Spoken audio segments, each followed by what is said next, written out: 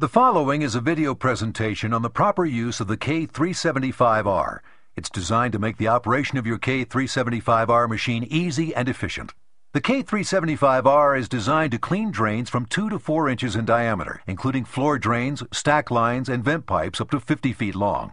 Before assembling or operating the K375R, be sure to read the operator's manual. Safety instructions are located in the front of the manual. Read and understand all the safety and operating instructions before operating the K375R. Read all warning labels on the machine. For your convenience, it is divided into the following segments so you can quickly find what you need. Machine inspection, machine setup, operating instructions, reverse operation procedure, maintenance.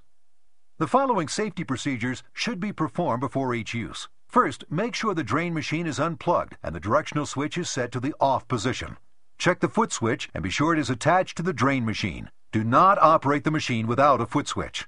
Inspect the power cord, GFCI, and plug for damage. If the plug has been modified, is missing the ground plug, or if the cord is damaged, do not use the drain cleaning machine until the cord has been replaced. Inspect the drain cleaning machine for any broken, missing, misaligned, or binding parts, as well as any other conditions which may affect the safe and normal operation of the machine. If any of these are present, do not use the machine until any problem has been repaired. Clean any oil, grease, or dirt from your equipment prior to use. Inspect the cutting edges of your tools. If necessary, have them sharpened or replaced prior to using the drain cleaning machine. Use tools and accessories that are designed for your drain cleaner and meet the needs of your application. Inspect cables and couplings for wear and damage. Cables should be replaced when they become worn or eroded. Warning, worn or damaged cables can break, causing serious injury. To prevent serious injury, proper setup of the machine and work area is required. Check work area for adequate lighting, grounded electrical outlet, clear path to the electrical outlet, dry place for the machine and operator. Do not use this machine in standing water or near flammable liquids, vapors, or dust that may ignite.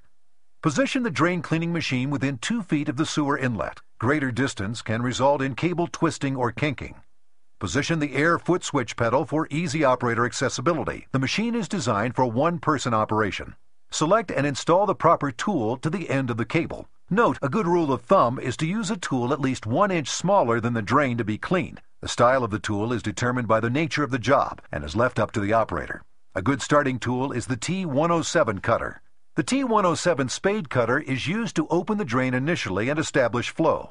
The T102 funnel auger is used to break up the remains of stoppages and retrieve large soft objects. The T142 knife blade cutter is used in cleaning pipes of general debris clinging to pipe walls. Please note that the K375R is not designed to cut or clear away root problems. A larger machine and cable is required for roots. Plug the machine into the electrical outlet, making sure to position the power cord along the clear path selected earlier. To check the GFCI, press the test button. The indicator light should click off. To reset, press the reset button and the indicator light should come back on. Do not use the machine if the GFCI does not work properly. Warning. To avoid electric shock and fires, never use an extension cord that is damaged. Extension cords must have three-prong plugs that accept the machine plugs. Do not use an adapter. See your operator's manual for further instructions.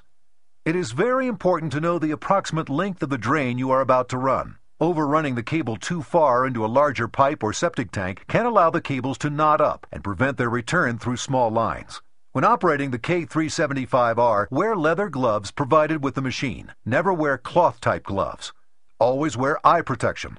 Warning, be careful when cleaning drains where cleaning compounds have been used. Avoid contact with skin and eyes. Serious burns can result from some drain cleaning compounds. Never mix drain cleaning chemicals together. Chemical reactions or splashing of solvents can cause serious injury or damage your cable. Call a professional drain cleaner if you suspect chemicals are in the drain.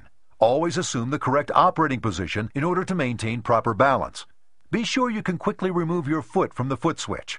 Your hands must be on the cable to control any possible twisting action when the cable hits an obstruction. Keep hands away from the rotating drum. Do not reach into the drum unless the machine is unplugged.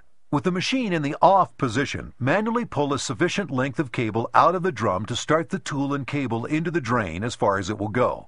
Move the forward off reverse switch into the forward position. Grasp the cable with two gloved hands and pull approximately one foot of additional cable out of the machine, forming a slight loop of cable between the machine and the inlet. Warning, Before starting the machine, both operators' gloved hands must be on the cable. While depressing the foot switch to start the machine, use both gloved hands to grasp and push the cable into the inlet. Rotating cable will slowly work its way into the line as you apply downward pressure with gloved hands on the cable loop. Continue to slowly feed the cable into the line a few inches at a time until resistance or an obstruction is encountered. When an obstruction is encountered, the cable will become difficult to feed or will have a tendency to twist sideways in your hands. If the cable loads down in the obstruction, pull back on the cable with short, quick jerks to free the cutter. Then, slowly advance the cable back into the obstruction. Repeat this process until the obstruction is clear. Remember, make sure the cutter is rotating at all times and never force the cable. If the motor turns but the drum stops, the torque limiter is slipping because of excessive force. The drum will begin spinning again once the load is released from the cable or the blade has been dislodged from the blockage. Warning! Do not allow tension to build up in the cable. This can happen quickly and without warning. When cleaning a drain, proceed slowly and carefully as you feed the cable into the drain. When a cable or blade gets locked into a blockage, an over-torqued cable can twist up if the cable tension is not released. Twisting cable may cause serious injury or damage your cable. Once the obstruction is cleared, it is recommended that you flush debris from the line with running water. It is also recommended that a continuous flush of water be used to clean the cable and tools as they are retrieved. If your blade becomes lodged in a blockage and you are unable to reduce the tension, remove your foot from the foot pedal and allow the drum to come to a complete stop. Refer to the last section of this program called Reverse Operation to assist in dislodging your tool and cable. To retrieve the cable after the drain is cleaned, release the foot actuator and allow the machine to come to a complete stop. Turn the machine off.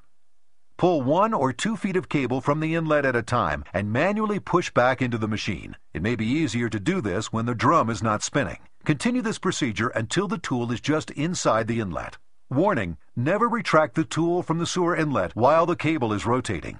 With the machine off, pull the remaining cable and tool from the line and push the cable back into the machine. Use reverse only to free a tool caught in an obstruction. Never operate this machine in reverse for any other purpose. Operating in reverse can damage the cable and cause serious injury. If your tool becomes lodged in a blockage, immediately remove your foot from the foot switch and allow the machine to come to a full and complete stop. Tighten the screw on the nose of the machine so that it firmly captures the cable to avoid kinks occurring inside the drum. Place the machine in reverse. Grasp the cable with gloved hands and pull while tapping the foot switch. When the tool is dislodged, allow the machine to come to a complete stop. Put the machine in forward, loosen the set screw on the nose of the machine, and follow the normal operating procedure.